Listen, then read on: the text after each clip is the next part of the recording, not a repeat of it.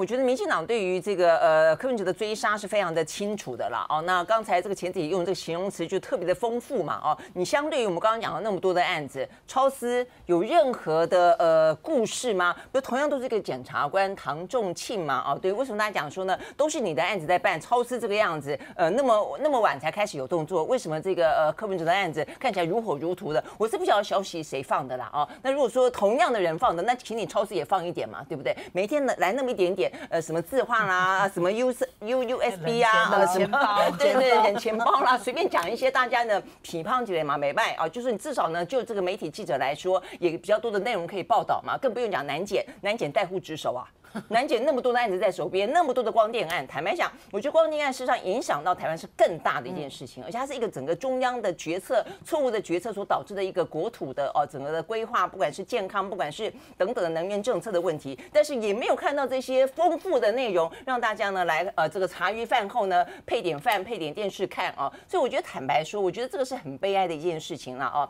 那所以回过头来看这个柯文哲，你说呢？那为什么这个样子呢？那当然是因为他们要政治追杀，只是我认为了哦，到目前为止的话，确实我觉得柯文哲没死也半条命哦。但是某个程度来说，我觉得因为他的呃，我觉得相关的这些政治操作动作实在是太明显了，我觉得太明显到所有的人都看得出来的状况底下，如果你严压，严压又成功，那严压成功之后的话呢，两个月之后你真的是起诉书写不出来。没有任何看得到的真正的呃，可以这个非常确凿的，你除了处理之外，相关的贪污等等的话，至少好歹像个郑文灿一样，或者好歹像个陈启玉一样，哦，这个什么左手换右手的啦，呃，什么比武的啦，哦，这个呃栽哪栽哪这种，好歹来点这种东西哦。如果都没有的话，我觉得你现在。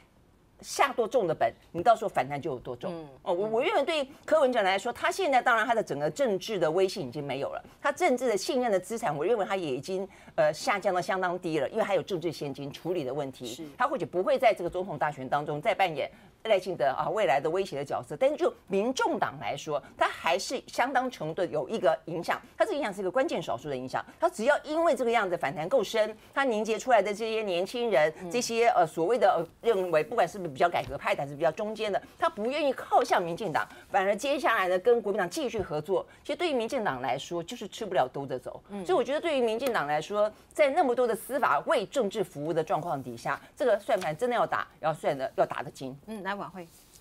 我觉得哈，刚刚这个讲这个吴征啊，这个吴征上次坐在这边的时候，他还在讲说，哎，主席有交代，叫大家柯文哲的事情要少讲。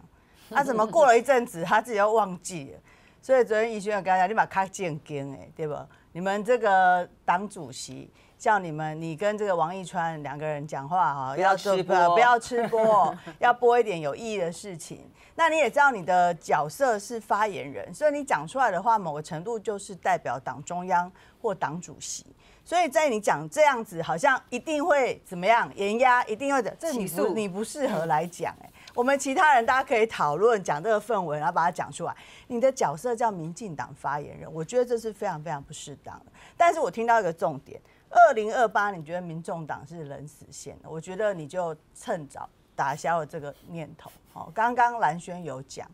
就是说这样子的一个结果。我看那个彭正生啊，他一开始要压他的原因是说他涉贪跟图利，最近一次严压他已经变成图利跟财产不明。啊，请问色贪去哪里？刚刚讲这么多的故事编完之后。你就没有办法很确切的一刀毙命的找到，虽然你们的这个 story 里面一直有一刀毙命嘛，但是你就觉得要继续查，要继续严压，所以我就讲哦，现在回来讲啊，我们现在哦，对于二零二八的状况，我认为啦，二零二六是先第一局，嗯，以目前蓝白在立法院的合作的这样的一个氛围来说，我不觉得民进党会拿到什么样的一个好处。